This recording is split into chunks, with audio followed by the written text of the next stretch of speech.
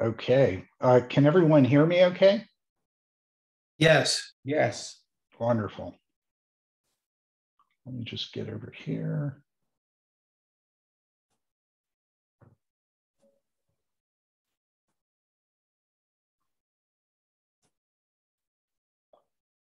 The good news is this won't be uh, death by PowerPoint.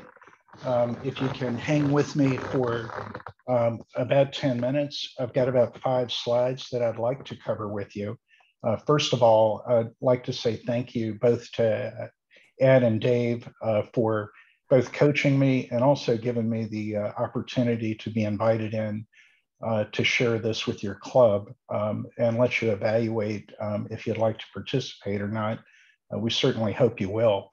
Um, all of us, if we, you know, went around the call, uh, we're all, somebody's, uh, if I could ask somebody to mute, uh, that'd be great. Um, you know, if we went around on the call, all of us are dealing with something. Um, I'm dealing, uh, unfortunately, with ALS. I'm a person living with ALS. Um, my life uh, changed um, in September of 2017, which after about nine months of going through, you know, various tests, uh, they narrowed it down. And, you know, unfortunately, uh, here's where I am. Um, I've been determined uh, to do something positive with that, you know, ever since. Um, we moved from Richmond uh, over here to the Charlottesville area in 2018. Um, and, you know, no regrets, no looking back. Um, this is a beautiful area, uh, very progressive people, uh, and also it's um, uh, it, what's not to like with uh, the mountains, photos, uh, and everything else uh, that we have to offer. Um, the when you look at ALS, and we're going to talk a little bit about um, facts and figures in a moment, um, but at the crux of it is fundraising. this is a rare disease. It affects um, about 20,000 people in the US. So if you start doing the math with um, 330 million, uh, that's uh, point uh, four zeros and a six. So it's like winning a reverse lottery ticket.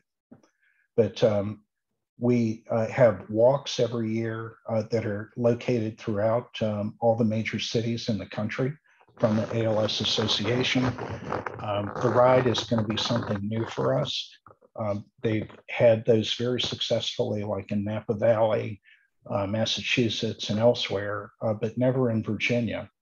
So uh, there's an opportunity to do that uh, not in July when it's 100 degrees, uh, but a little earlier in the year and try to avoid UVA's uh, graduation and other events that are going on. So we are online. We do have a Facebook page. Um, we also have, you know, low, we have wide variability on Facebook, but we must be doing something right. And in a different time, I'd be glad to talk to you more about that. Um, I spent uh, uh 20 plus years at Microsoft. So my uh, background is in the IT world. Uh, it doesn't make me a Facebook expert, but at least I understand, you know, some of the algorithms and how they're trying to drive participation uh, we also have a um, an Instagram site, uh, which is something you may want to evaluate if um, you're trying to get the message out, you know, quickly and have people look at something new every week. Think of uh, Instagram as being the child of Facebook. Um, and that's how they're related. They can be very well integrated. Um, but anyway, our event's going to be May 14th. Um, it'll start at 7 a.m. We have to check people in and then get them out on the rides. Um, I understand some of you have uh, previously worked with uh, the Boys and Girls Club uh, on their rides that they used to have. This follows a very similar uh, route uh, that we'll see uh, out in Crozet, but it will start at Pro Re Nata and either you know wind south towards the Batesville market or you know wind north up to Maybell's. So here's a, a few facts about ALS. Um, you know, why, why am I choosing to do this? Why do so many others choose to try to do something about it? Uh, pretty rare, um, about 5,000 um, are diagnosed every year. Uh, the life expectancy is not good. Uh, it's two to five years. So, you know, of course, I'm very aware of that coming up on year five in September. Uh, and it's 100% fatal. You know, it's something you have to get your head around. Uh, we're all living with the terminal uh, illness called life. This one just accelerates that timeline. Uh, about 10% are genetic, 90% are sporadic, like I am. Uh, and it's a difficult problem to solve when you've got such a small population and it takes $2 billion, that's with the B, under the US system uh, to get a drug to market. Uh, the economics are just not there, you know, for uh, small, rare disease populations like this. What the ALS Association has chosen to do is to seed promising programs and they've been able to figure out that the multiple is about four to six dollars for every dollar that they invest uh, is then invested by the pharmaceutical companies that take that forward. Uh, the symptoms, um, you know, I won't spend a lot of time on that. Uh, basically, you know, for me, I was uh, out traveling and threw my uh, roller bag up on the, the TSA line, and the thing felt like it weighed 100 pounds. Um, I said, "Hey, something's wrong here." I went to you know the doctor, and sometime later they made the diagnosis. But you know, usually it's a progressive weakening of the muscles. Eventually, it gets to the point that um, uh, you can't walk, you can't talk, you can't move, and you can't breathe. Uh, when you can't breathe, um, that's the end of it. Um, for reasons that are not understood, uh, the military, um, uh, no matter if you you know active or retired, you're twice as likely to get diagnosed as the general public, and uh, they just don't understand why. So I'll stop there just for a second. I know that you know, that was kind of the crash course on ALS. Any general questions at this time before I move on?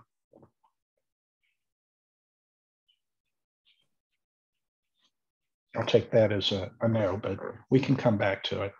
Uh, the other thing that I, I, didn't emphasize is there's no, you, you, don't go do a blood test and they diagnose that you have ALS. It's uh, uh, they have to uh, eliminate you know everything else that's out there and then eventually you get to a neurologist and eventually you get to an ALS clinic that specializes in that.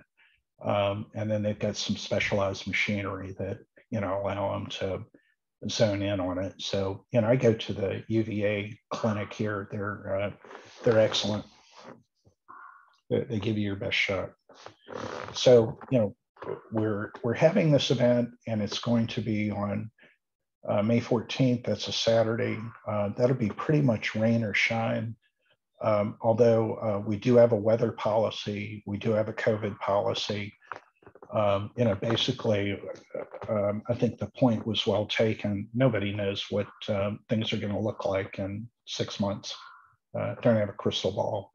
But, um, you know, if COVID um, morphs and goes in a different direction, uh, we'll have a, a method to get the message out uh, to all of you that may choose to participate, uh, as well as um, you know those that are coming for the event um, and cancel it. Um, the same with weather. Uh, if we're going to go with AccuWeather, if something pops up and it's within 20 miles and we see lightning, or you know there's a big thunderstorm headed this way, it's safety is going to overrule everything else. So you can see from um, the, the map here, um, and you should have a, a, copy of this that I think Ed or Dave can distribute out um, in a kind of the routes uh, for the people that are hardcore, uh, they take the red route. Uh, that's 100 um, kilometers or 62 miles. Um, then there's um, the blue uh, and the other routes, which are progressively shorter. So uh, we've got a 100, a 50, a 25. Uh, and then the fun and family is going to be um, 10 kilometer. That's about six miles. Uh, that's to get out to uh, Chiles Orchard and hopefully have some of their fabulous ice cream. So these are the routes. Um, you can see we've got a, a, number of rest stops, Press Central being Pro Re Nata, uh, that coverage, and then uh, the mobile support. Um, a couple of the bike shops have signed up uh, to help us with um, mechanical support. And then also, uh, I talked with, um, I think, uh, Dave earlier. We'll make sure to have um, the, I call them runners uh, or sweepers. if somebody breaks down, we don't want the SAG support hauling people back to Pro Re Nata. That needs to be something that we as the event take care of, you know, just have clarity. And then we're pretty far down the path on, we've got the ICS uh, document for incident support. Um, and it's just a small world kind of thing. One of my relatives happens to be in law enforcement and he'll be serving as well as the safety officer the day of the event. He's used to dealing with the media too. So in terms of support, um, they ask, uh, we've started this ICS 201 document, uh, but we certainly need to fill in uh, names and numbers uh, with detailed information that we can then uh, share with the right authorities uh, and have a game plan in front of us. So we've got the draft. We'd like to get this completed by the end of March with our event being the middle of May. Then sh share that back. I've already sent a copy to Albemarle County, uh, the police, the sheriff, the fire department. Uh, we've got one permit from Albemarle County. We're waiting on the second one. Um, for you as a volunteer, if you consider helping us, I would just ask that you go to the website and actually register. That way um, uh, we can figure out what t-shirt size you need. Um, also get your cell number, uh, which we've got a, a a system, and I know you've got your own uh, to notify, but you know, basically do a blast to all the people that uh, have a cell phone, because uh, text usually works when cell service does not. And that'll be the, the main way that we notify people of a cancellation or, uh, hey, we've got uh, something that's gone wrong and we need to stop. Um, we'll also provide you, as well as a t-shirt, um, two drink tickets for an adult beverage of choice or water or whatever you want, uh, a pint glass uh, and barbecue. Uh, you will be required to sign a COVID waiver that uh, should we you know gather together and then disperse um, if you pick up covid uh, you can't sue us it just takes a you know a page to say that um, and also uh, we'll out, clearly outline the weather weather policy so that there's no you know, ambiguity. If you want to go, if you want to go directly to the site, uh, you can just take your camera and go to the QR code. Uh, that's the quick response code on the right. Uh, and just take a picture of that with your um, uh, cell phone, and that'll take you right to the website as well. So uh, uh, no cost to volunteer. And we just ask you consider to participate you know, donate potentially uh, or consider sponsoring. Uh, if you do follow Instagram, uh, that's our handle. So with that, um, hopefully I'm about right on time. I'd like to say, you know, thank you for allowing me to briefly run through that. Uh, Amelia uh, is a name at uh, als.org that can answer additional questions or myself. Um, I'm a board member, um, but obviously I don't have an ALS info uh, alias because I don't work for the organization. Um, any questions that I can uh, take at this time? We had uh, uh one uh, question from Patrick uh, in the chat window, which is how many people are anticipated to, to be participating in the, the various rides? Sure, yeah, great question. I'm, I'm sorry if I didn't cover that um, we're anticipating um, 120 to 150, uh, probably the hardcore cyclists that'll do the longer. Uh, I would say the majority will probably sign up for uh, the 50 or the 100. Um, and then uh, we think that another 40, maybe 50 for the family ride. So uh, we could have as many as 175, 200 cyclists out there. Um, the, it takes a total of about 75 volunteers in different capacities to put this on. Um, and then we add another, um, I call them supporters. They may not want to ride six miles, uh, but they might want to uh, drink a beer or two. Uh, that'll be there for supporting or beverage of choice. So, you know, all up, probably have about 300 people. Steve, Sarah had a question. Mm-hmm. And I think her question was, she sent it via chat.